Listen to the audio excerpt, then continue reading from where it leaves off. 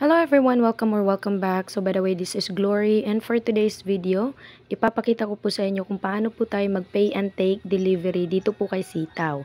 So kung meron na po tayong orders na na-receive sa ating account, so kailangan na po natin yan i-pay and take delivery nang sa ganun is ma-process na po yan ng system at mabawasan po yung ating waiting time. So, kung nakapag-recharge na po kayo at meron na pong laman ang inyong wallet dito kay Sitaw, so ipaprocess na po natin yung mga orders na ating na-receive. So, first and foremost, kailangan nating i-check kung magkano yung balance natin or laman ng ating wallet. So, i-click natin tong My Wallet. So, Makikita natin dito na meron tayong 1,060 pesos na remaining balance sa ating wallet at ito po yung amount na pwede po natin gamitin para ma-process yung mga orders. Balik po tayo doon sa ating profile at ngayon naman is i-click natin tong orders. So, dito sa orders, makikita natin meron tayong pending, shipping, delivered, all, and overdue. So, meron tayong makikitang overdue dito kasi uh, lumagpas na siya at hindi natin siya na-process. But that's okay. Wala po tayong dapat ikabahala dyan.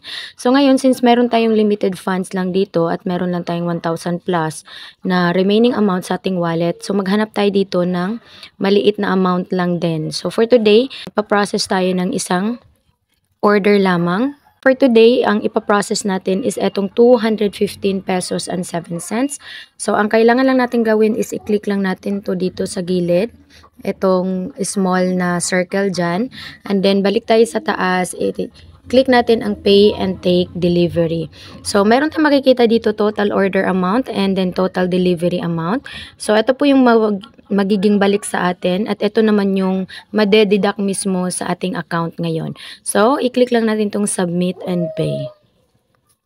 So, naging success na po siya. So, kung babalikan natin, ang magiging status na niya is confirmed. So, yan na po yung magiging status niya. So, meron tayong shipping na lima rito. So, marireceive natin yan after 20 days pa po. So, ganun lamang po ang pag-process ng orders ganito kay Sitaw. And thank you so much for watching. Have a nice day.